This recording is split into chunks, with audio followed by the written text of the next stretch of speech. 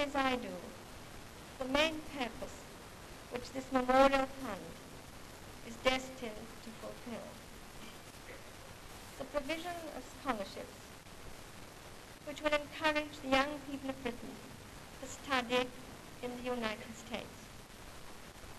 And while doing so, to learn something at first hand about your country and its traditions, about yourselves and your institutions.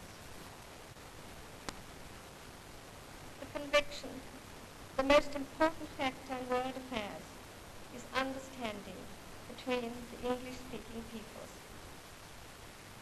And that there is no better method for the furtherance of goodwill between our countries than by the interchange of young people. For that goodwill and understanding, there can be no harmony or true partnership. And without partnership, there can be no peace or security, no prosperity, no freedom in the world today. The English-speaking Union has a great part to play in this vital task.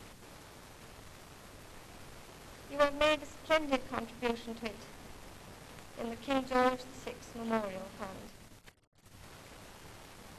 I want you to carry away with you tonight not only my thanks and my congratulations, also my heartfelt good wishes for your future work.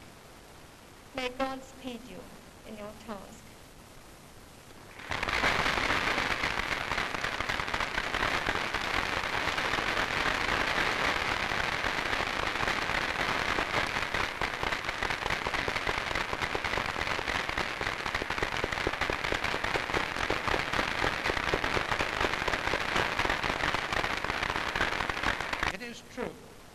the hope of the world.